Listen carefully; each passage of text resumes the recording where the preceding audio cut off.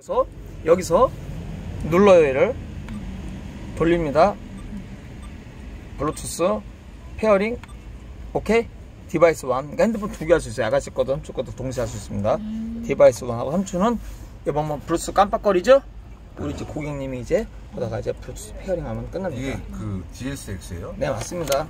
GS80 아 좋은 거 사니까. 이거 사면은 더, 바, 더 바꿀 게 없어.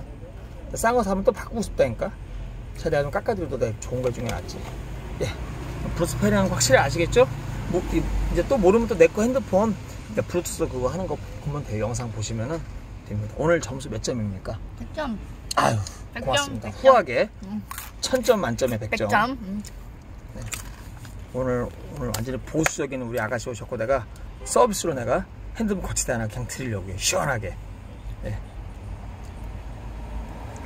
사장이 잘 돼야지. 무슨 노동자가 잘 돼야 돼. 사장만 잘 되면 노동자 자동으로 잘 되는 거예요. 노사가 협의를 해 협의를 해야지. 무슨 노동자만 편 쓰면 뭐해?